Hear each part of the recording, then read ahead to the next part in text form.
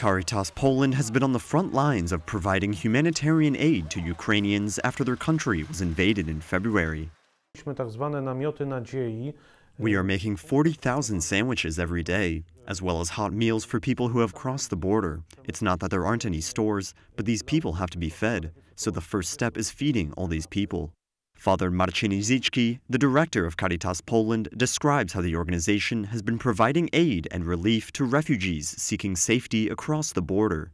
He explains that Caritas Poland has raised 10 million euros to help different dioceses address the refugee crisis in their area. Jesteśmy także z posiłkami do Most refugees want to go to big cities that have the most to offer, like Warsaw and Krakow. But there is another group of refugees who don't want to move away from the border. They want to stay closer to their homes in Ukraine, hoping that soon they will be able to return. So they don't want to be far away. When they find a place near the border, like the reception place, they want to stay there. In the first 30 days after the invasion, Caritas sent about 500 trucks filled with food, medicine, and even electric generators to Ukraine. They also reached out to other organizations to collect food for the refugees.